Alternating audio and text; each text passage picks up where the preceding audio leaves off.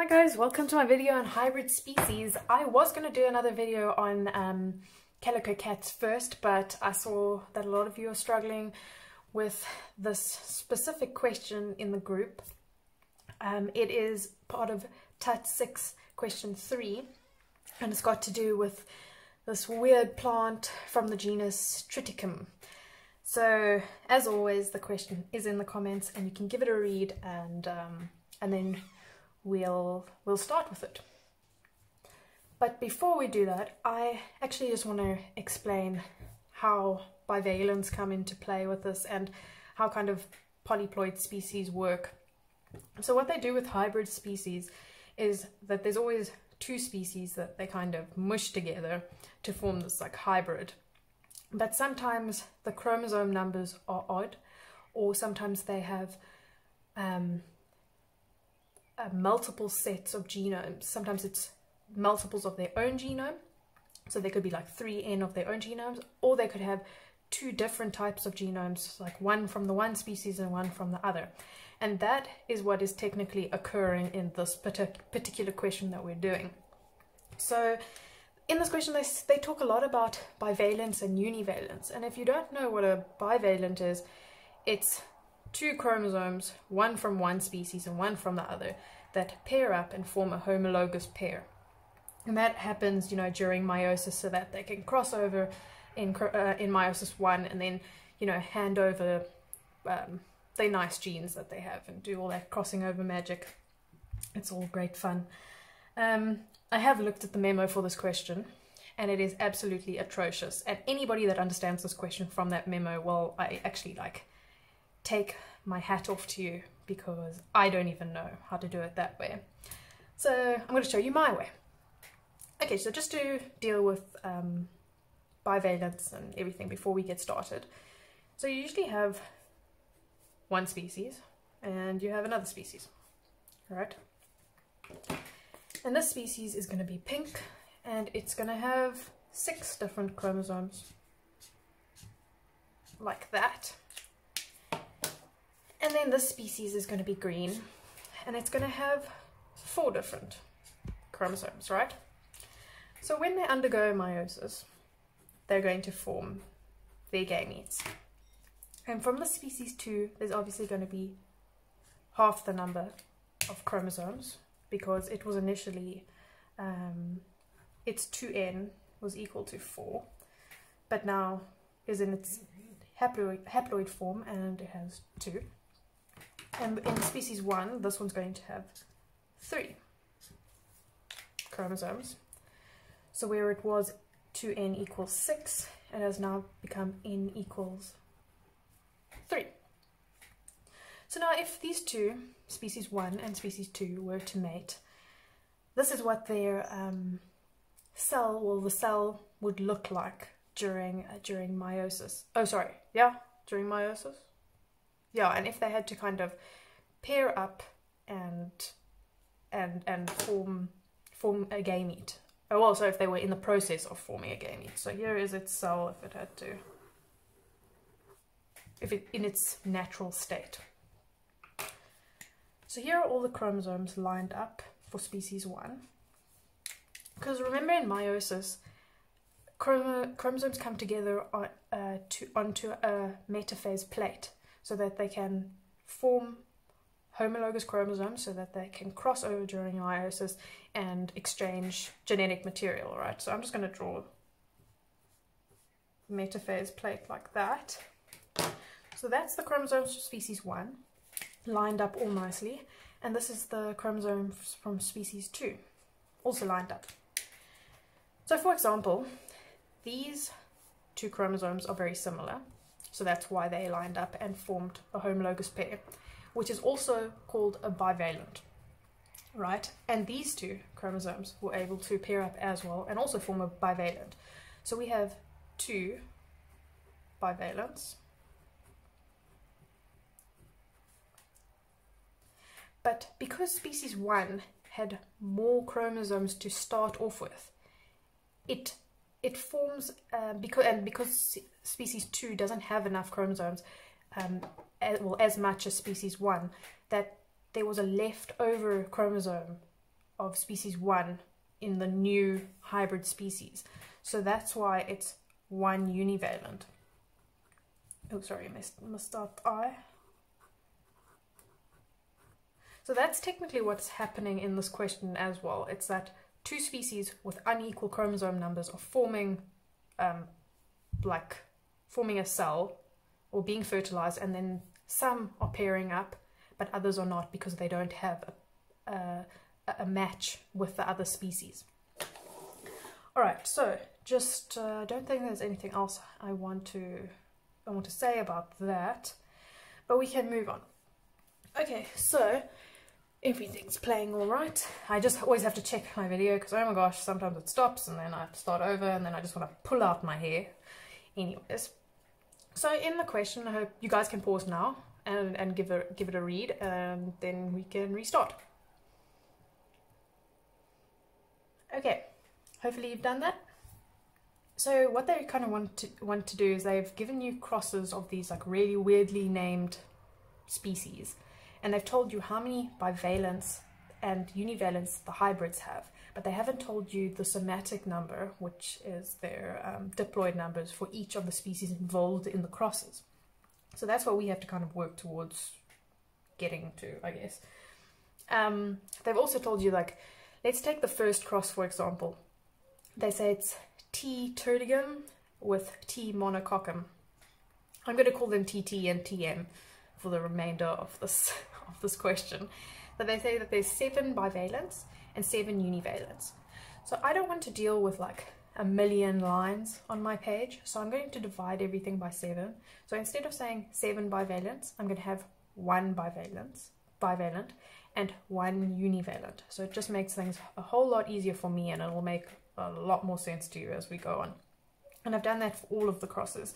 It's just so I don't have to like, instead of like, for example, instead of drawing out six lines, I'm only drawing out one.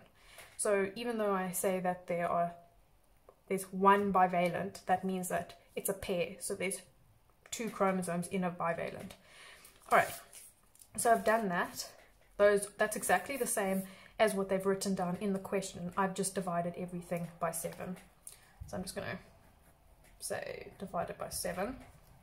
Put that in a bubble so that you know what I'm doing. Um, sorry, yeah, I just made a mistake. I said 2 originally, but it's actually 1. So yeah, just bear with me there. Okay, so what I like to do is I like to put everything in their bubbles. So for cross 1, I'm going to have a bubble. Cross 2 will have its own bubble. and then cross three, I hope that fits, will also have its own bubble. Right, so for example, I'm going to give the, all these different um, species their own colors. So when, when I write down their chromosomes, all these chromosomes will have different colors and we'll be able to know what's all cracking on here. So TT will be my pink color, TM will be my green, and TA will be my orange. Just makes life a lot easier to see. So what I like to do is I like to write out where I see all the bivalents are because you have to, so what I did here is that I saw that there's one chromosome that was unpaired. So we have to decide, we or we have to like, um, what's the word I'm looking for? We have to determine which of these species are forming bivalents and which ones have leftover chromosomes. And you know that's how we're going to figure out how, what their somatic um, cell numbers are.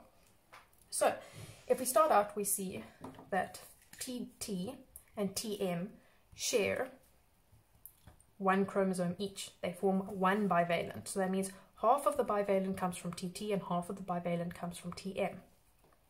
So there's my one from TT and here's my one from TM. Right, so I can't really determine where this univalent comes from yet. But let's do the same for this next one. So for TA, we know that 1 comes from TA. And then we know that 1 comes from TM. But we can't determine what's going on with our univalent yet either. And then in the last one, we have 2 Bivalent, and one and then we got from that from that species TT also shares a chromosome in that bivalent. So that's all my bivalent set but now we just have to determine where do these univalents in which which species do these univalents come from. So I'm not going to look at this cross for a moment. I'm going to look at these two because both of these cross C2 and C3 both share TA. So now I look here and I'm like thinking, okay, TA is crossed with TT. There's two uni uh, sorry, there's two bivalents formed and one univalent formed. But when the same TA is crossed with TM, only one univalent, uh, sorry, one bivalent is formed and two univalents are left over. So if you can kind of deduce from that that TA has to have three chromosomes because in the first one TA paired twice with TT but TA only paired once with TM and left two um, univalents left over. So now I can put another one there and two there. So if I can write this down, I'm going to say TA is my species 3. I'm also going to say TT is my species 1 and TM is my species 2. I'm just going to put it up at the top so I know which one's with which. So that's also my species 2 because I know green is green is species 2 and I know pink is species 1. You can number them any way you want. That's just the way I wrote it out. I TT came first so that's why I made it uh, um, species 1 and TM came second and that's why I made it species 2, so on and so forth. So like I was saying, so now we figured out that in cross 2, the univalents came from TA and that's why there's two left over. There's two unpaired chromosomes.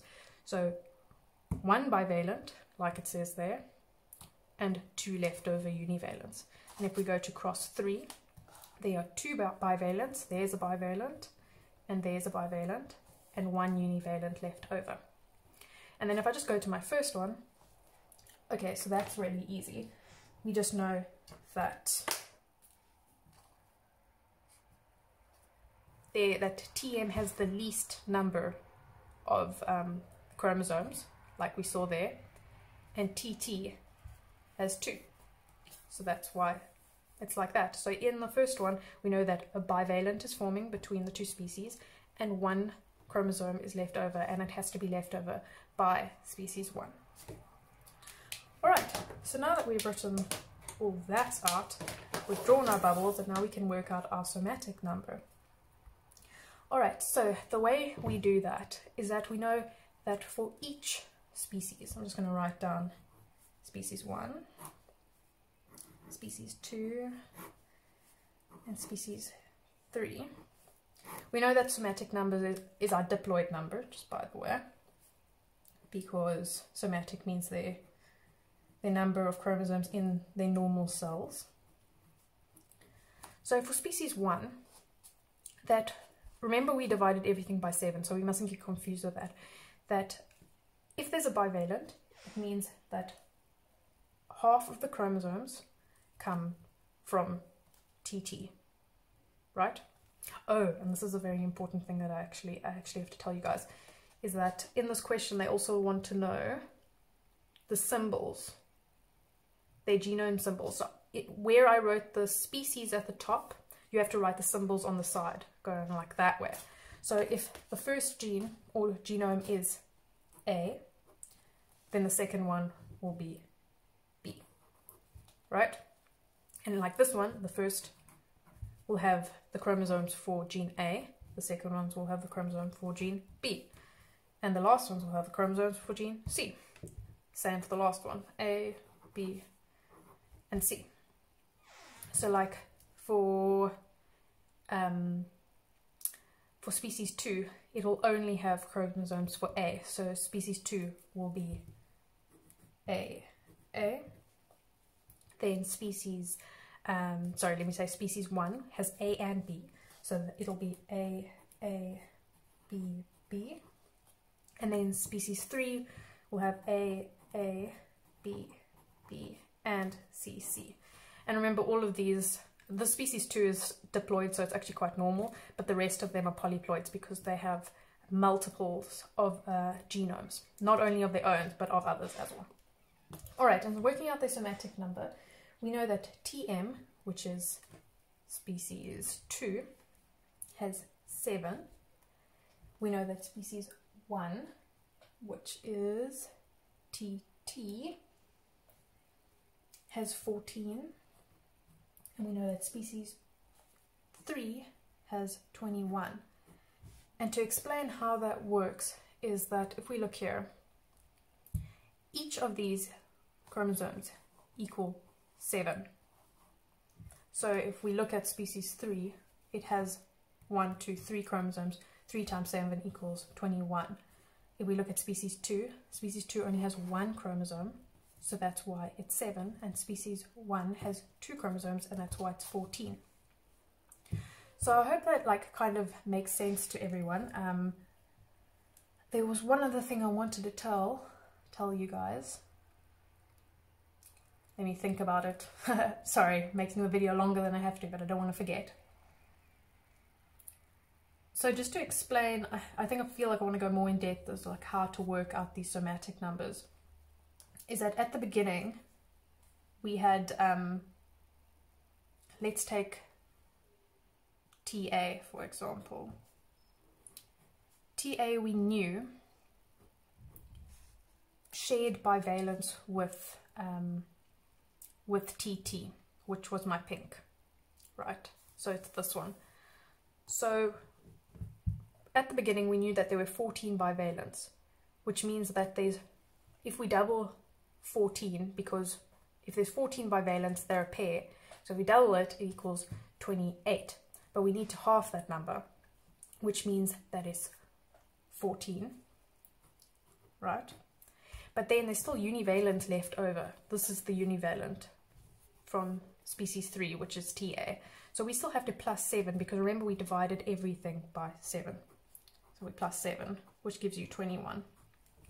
If I do the same thing for, let's go with TT, TT, which was my pink, still formed a bivalent with um, species 2. So technically we have one bivalent, which actually equals 14, right? But we divide that bivalent by 2 because half that bivalent number comes from the one species and one and the other half comes from the other species, which means that we only have seven. But because we have a leftover univalent, there's still another seven chromosomes left over. Remember, you have to work with the real numbers, not the numbers I'm using here because I divided everything by seven, which equals 14. And then let me just do the last one just for the fun of it. The last one only just in all the cases that it's been with when it's been crossed with another um, another species, it's only formed one bivalent, meaning that there was 14 in the bivalents, but because you divide it by two, there's only seven left over. And that's how you actually do the maths to know wh what the somatic numbers are. So I hope that's helpful and you guys learned a thing or two. Um, let me know if that was not explanatory. Just remember that these all come together on the metaphase plate when they're crossing over. This is after fertilization and they're they're going to form gametes, so just remember that. Um, and yeah, that's a nice, very nice way to visualize this question what they're asking. I think there was actually a B part of the question, but I'm not going to do it because I think you guys can work it out yourself. It's just asking if um, they're autopolyploid or allopolyploid, so that's just a bit of um, theory that you have to go through by yourself, but it's fairly easy just to let you know this one is diploid and those ones are polyploid just a little hint but yeah thanks for watching again and um, yeah have a nice evening